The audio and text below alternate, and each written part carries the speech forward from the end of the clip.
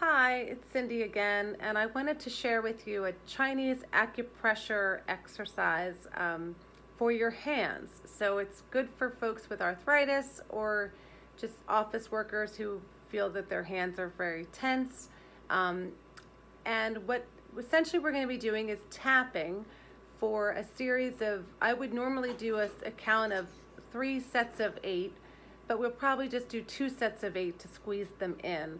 Um, and without further ado, we're gonna start with the sides of our hands and tap the outer edges of our hands together. Okay? And then we're gonna switch to the heels of our hands, focusing on closer to the thumbs than closer, you know, trying to get the base of our, of our thumbs as our main point of contact.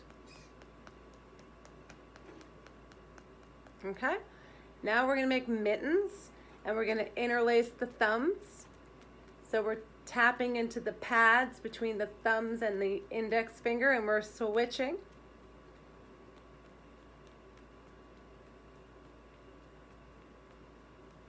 Now we open the fingers and we interlace them and we tap them together.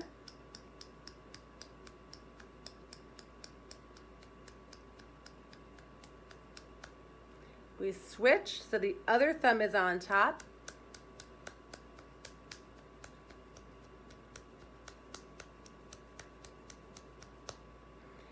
Then we tap the backs of our hands together very softly. There's not a lot of flesh there. Make sure that you're meeting in the middle as opposed to taking one arm, you know, pounding down on the other. So bring the the, make sure the bottom hand is active as well. All right, and then the tips of your fingers, tap those as well. Those are our sinus points.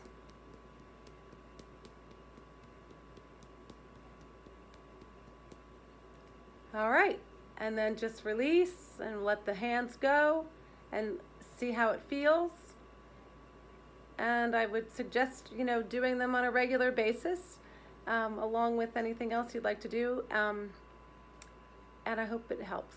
Have a nice day. This video is sponsored by the Eastern Shore Horizon Fund of the Midshore Community Foundation.